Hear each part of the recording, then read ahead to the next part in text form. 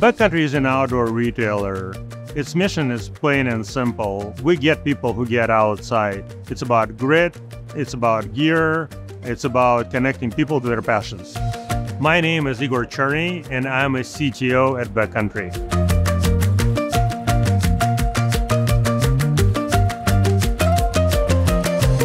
We used to spend a lot of time and money on infrastructure. Now with Google Cloud, what used to take several weeks now takes seconds. Looker and BigQuery is literally brain of our business. Based on the data we get from BigQuery and Looker, our business is able to uncover new insights and apply it to the business every day.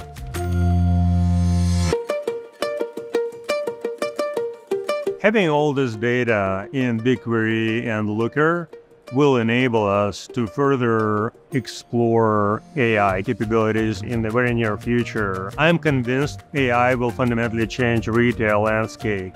Google generative AI capabilities will greatly help enrich the content within our product. Gen AI could look into various disparate data such as attributes, values, product descriptions, and generate a cohesive way of displaying this product on a website. We will use AI for inventory management, pricing management, virtual try-ons, product content enrichment, building new search engine, multiple other things.